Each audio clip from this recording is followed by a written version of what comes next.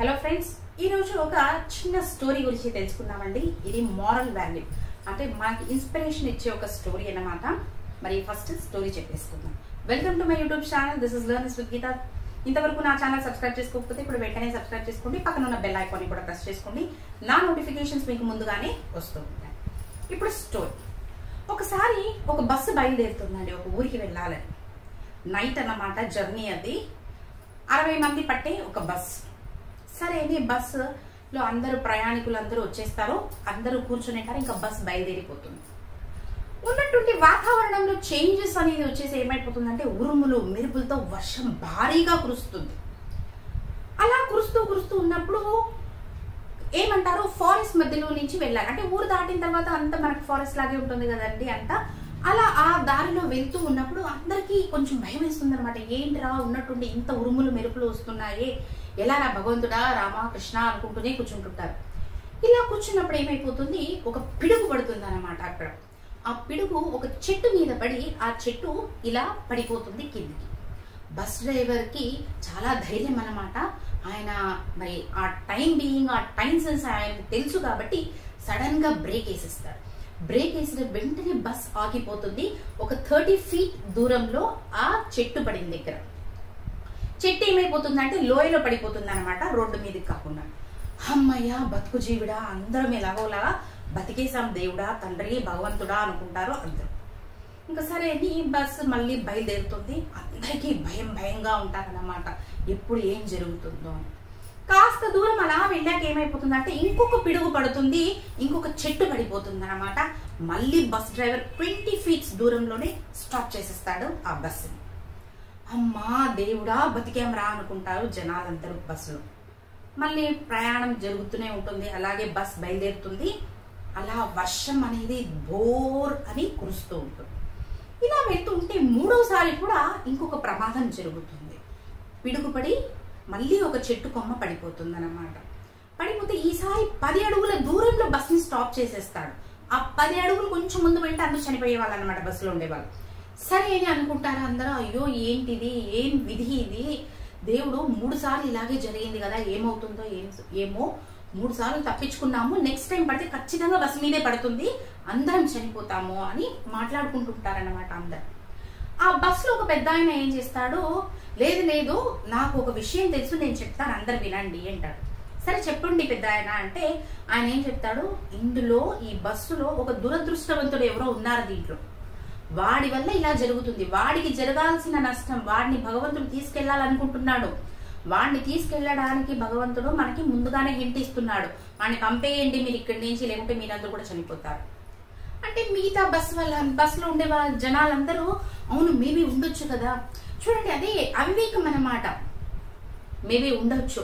ఎవరో ఒకరు మరి ఏం చేద్దాం పెద్ద ఆయన అని అడుగుతారు.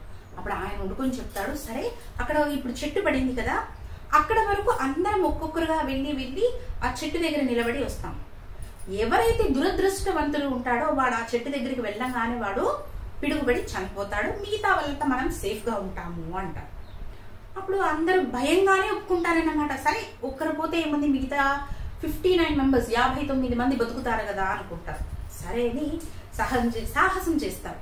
ఫస్ట్ ఆ పెద్ద ఆయన పోతాడు. భయపడుతూ భయపడుతూ నేనే ఏమో నేనే ఏమో అనుకుంటూ వెళ్తే ఏం కాదు. తిరిగి వచ్చేస్తాడు బస్సు దగ్గరికి. ఇలా ఒకరు ఒకరు ఒకరు ఒకరు వెళ్తూ ఉంటారు. ఆ బస్సులో ఒక వ్యక్తి తన మనవరాలతో వెళ్తూ ఉంటాడనమాట ఎక్కడికి? ఆ ఊరికి. వెళ్ళేటప్పుడు ఆయన ఆయన మనవరాలు మటుకు మిగులుతారు. మిగిలినప్పుడు ఏమంటారు? ఆ పాపని వెళ్ళి రమ్మంటారు. సరే నా పాప వెళ్తుంది పిడుగు పడదు అమ్మ అనుకుంటూ వచ్చేస్తుంది పాప. లాస్ట్లో చిట్ట చివరిగా ఆయన ఒక్కడే మిగిలింటాడనమాట ఆయనకు అర్థమైపోతుంది. ఇంకా వీళ్ళంతా బతికారంటే నేనే కదా ఇంకా లాస్ట్ ఉండేది. నా మీదే పిడుగు పడుతుంది నేనే చనిపోతాను.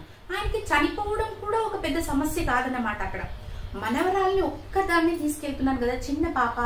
ఎక్కడ దిగుతుంది ఏం చెప్తుంది ఎవరితో వెళ్తుంది అనే దిగులతో లేదు నేను వెళ్ళనంటే వెళ్ళను అంటాడు.